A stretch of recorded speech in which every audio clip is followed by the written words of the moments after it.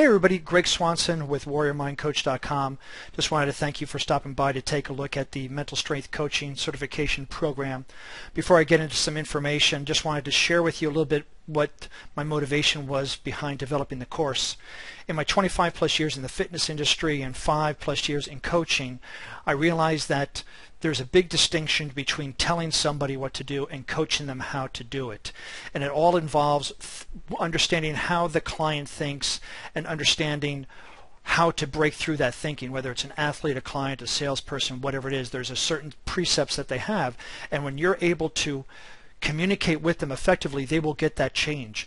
Most fitness certifications and continuing eds and other aspects work more on the physical. Here's a new routine to do, here's some, something else to do. But if you don't understand the client's resistance to change and it's an unconscious resistance and you just tell them to do something they're not going to get that lasting change. So in this mental strength coaching certification program we go through the uh, the coaching part of it. How to coach what is coaching? We'll go through the the the mindset how does a person think and how to get through that and then we'll go into the mental strength part and help you develop goals and and, and ways to help that client break through those resistance so with that I'm going to shift over to the PowerPoint and get going on that.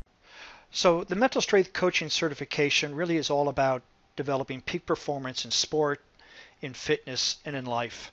The information that you're going to learn through this program, you're going to be able to apply to all aspects of your life. You know, today more and more is being asked of the trainers and the coaches to help their clients. You know, clients and athletes are bringing more of their life to the sessions. They're bringing in their internal states, their moods, their emotions. I'm not feeling good today. I'm mad at this, or or whatever their mood or emotion is, and and they're bringing in their external world with them too. If they're working, they bring in their work. They had a fight with their boss. They had a fight with this, and they're bringing in their family. That uh, things aren't going well with the family life, and they're and they bring in a whole bunch of other things with them, right? They bring in um, about nutritional advice. They they they get very personal with with what's going on in their life with the trainers and coaches, even to a point of relationships. And so, how does a trainer and coach address all these challenges? Well, many of us will go to workshops and seminars to learn the latest and greatest workouts, the new systems or the new tools to use to help our clients, as well as to differentiate us from other trainers and coaches. We'll also try to help our clients by giving them tips advice and, and information as best as we can. But at some point, these stop being effective, and then we blame the client for not being committed to their change. And really, doing this and having this type of thinking is like trying to teach trigonometry to a fifth grader. If they can't get it, they're not committed well, it's not the fifth grader's fault. It's not the client's fault at some levels. Yes, I agree that at some point they need to put in the work, but the program here is about helping you develop that communication a little bit more effectively.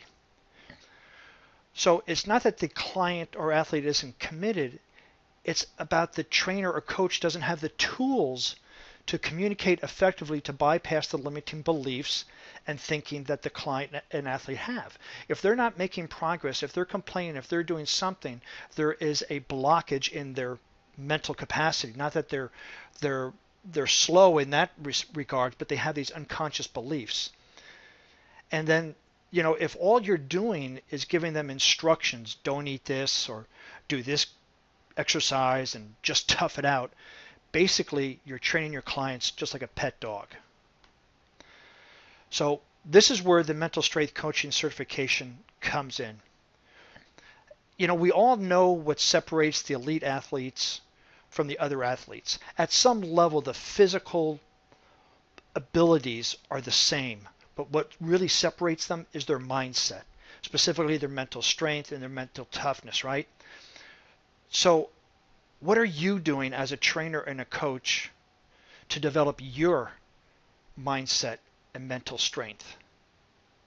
And with all things being equal, that is, the training and knowledge of human and exercise physiology, what makes you different from other trainers and coaches? If the difference in elite athletes is mindset and not physical ability, what are you doing to enhance your mindset and mental strength to set yourself apart from the rest? And sure, it's great to read books, go to seminars, listen to audios, but without the proper education as to how to apply this knowledge, it's simply just information. But what, what's more important, how are you developing your client's mental strength? In the mental strength coaching certification, you'll learn about personal coaching, how the mind works, mental strength tools and skills. So just want to go over real briefly what coaching is. Many people think coaching is what they see on a professional team. The coach is on the sideline telling players what to do, um, yelling at them, giving them instructions, and that's what everybody thinks coaching is.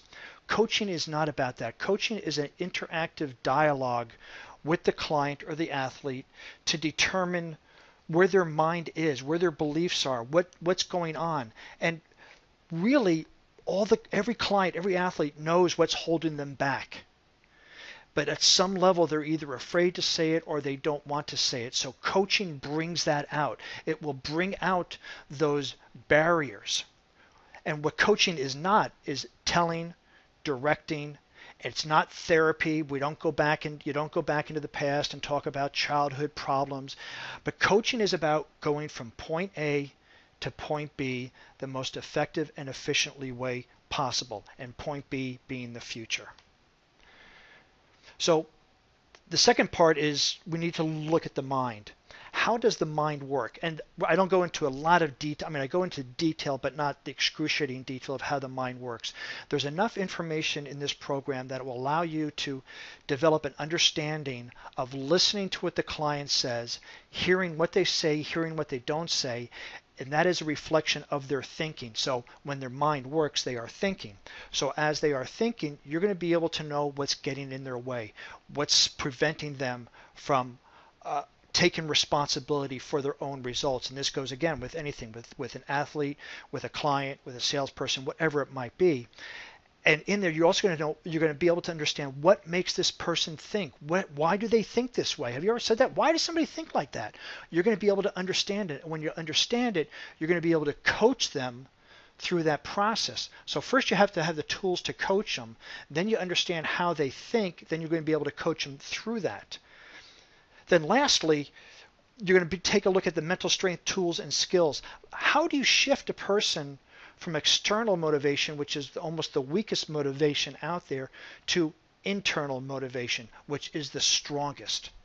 And with the mental strength skills and tools, you're also going to, how do you help somebody break through their comfort zone on a regular basis so the new comfort zone or the new uncomfortable zone becomes the new comfort zone and you keep pushing them up and up and up. And this section goes over the four aspects that Navy SEALs use to develop their mental toughness as well. So we want to take a look at wants versus needs. If you want your clients to train with you because they want to, not because they have to, you need to understand how to bypass their filters and effectively communicate and coach with them. Understand that some people have to train with you. They are overweight or they are assigned to you as an athletic tra- trainer.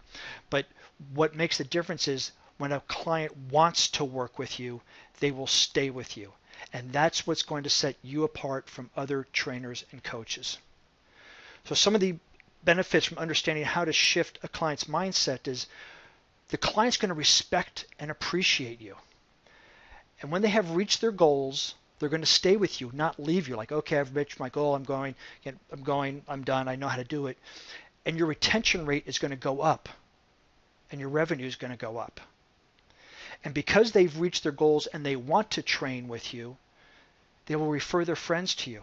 Your client base will go up and your revenue will go up.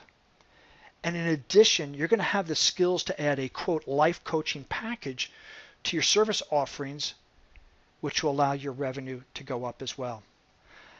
And you're also going to get the mental strength tools and skills to create lasting change in your clients and in your life as well. This is just not about the clients, but it's about you as well.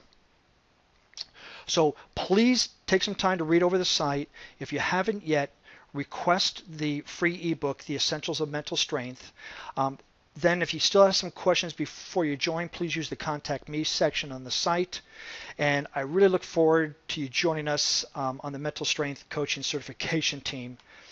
And just remember, whatever you or your clients want out of life lies on the other side of mental resistance.